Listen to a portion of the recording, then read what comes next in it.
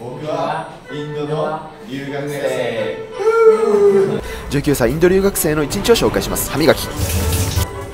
次に着替えます。イケメンですね。学校に向かいます。今ねもう遅刻しそうでね焦ってますね。さあ急いでます。バイクの音うるせえ走ります。どんどん走ります。さあもっと走れ。おいもっと走れ。牛さんこんにちは。さあ走ります。走ります。はい学校に着きました。そしてかまします。一日はね挨拶から始まりますからね。ちゃんと挨拶しましょう。今日も皆さん元気たっぷりです。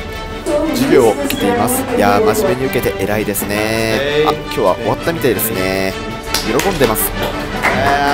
お昼です。インド留学来て一番食べているお店です。店主が優しいんです。いやー美味しそうですね。帰宅